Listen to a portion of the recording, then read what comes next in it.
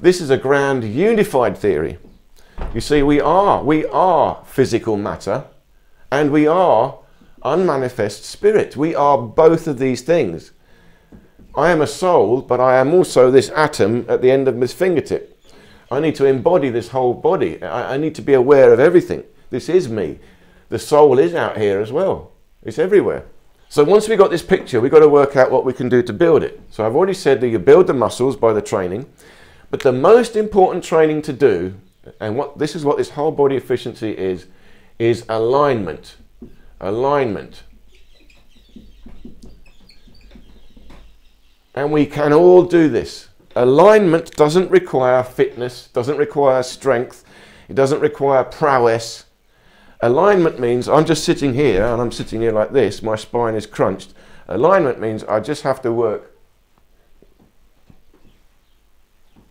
to, you might have heard some of those clicks, but I'm trying to generate clicks all the way up the spine. You see, I want control in each joint, each vertebrae. Click, click, click, click, click, click, click, click, click, click, click and the last one clunk into the head means I've moved the bone marrow all the way up to the brain, I've refreshed the brain.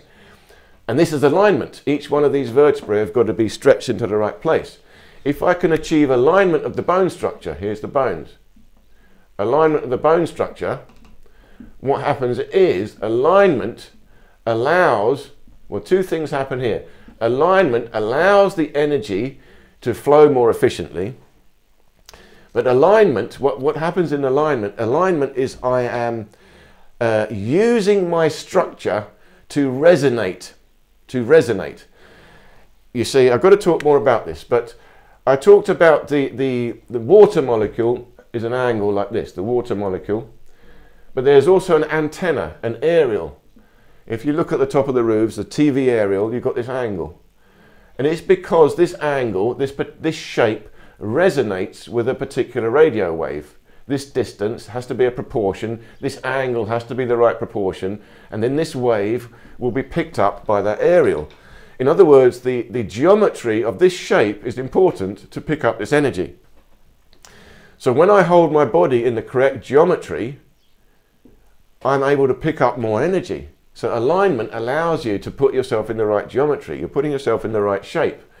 And the human body is naturally designed in the right shape. So I talk all about the neutral stance. I've got to try and find the neutral mid position of the spine.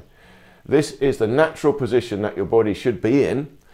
And just by, of course, coincidence, it's not coincidence, it's to do with the mathematics of phi, but the, your body is just the right shape to receive the energy, receive energy coming to you.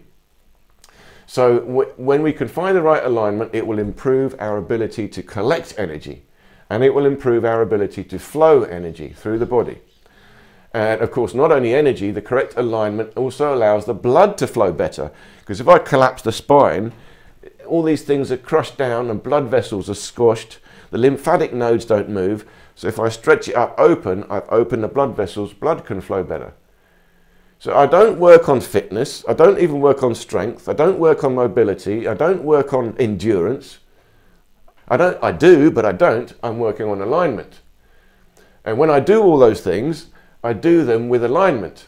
So I only work my strength. See if I'm doing weightlifting, this might be all I use, this little weight. That's that's fine. What I've got to do is work the correct alignment, get this exact control of my elbow tendon once I've got the feeling of that, well, now I can increase the weight. But I don't lose it. You see, if I go suddenly too heavy, now, oh, now what happens is your brain kicks in, you're struggling against pain, and you forget the alignment and you start going back to the muscles, and then they burn out. Oh, okay.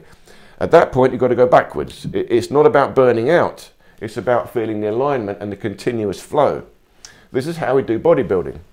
And then once you've got to a certain level, you're moving the bones so now you're doing deeper internal bodybuilding and you're moving the bone marrow and you're regenerating new blood and bringing that out.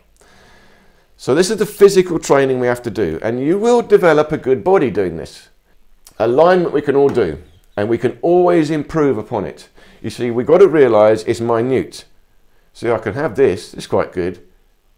This is a bit better. It's a bit better bit better. Now I'm, I'm at the level of millimeters, millimeters of improvement. But I can only find that improvement deep inside. I have to find the awareness. Oh, that's a bit better. Stretch it open a bit more. See, I'm always working to improve and improve and improve my alignment. Uh, and that's the key. This is efficiency. We can always increase efficiency, always increase efficiency. So no matter what the capabilities of your body, you can always improve the alignment.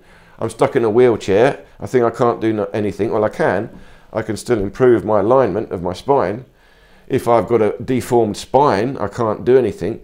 Well, I still can. I can still try to move and stretch open that deformed spine. And with some help, I can try and pull it I can still move towards a better one. It's one millimeter is, is worth it. That work to get one millimeter closer is hard work, but that is worth it. And it's a lot easier work than what we do in the gym, jumping, running, and you're burning yourself out, bouncing your joints, you're injuring yourself with a lot of that training. So this is the bodybuilding. We're training our alignment, training the tendons, training the bones, and ultimately training the fluids, moving the fluids through our body. And this will regenerate us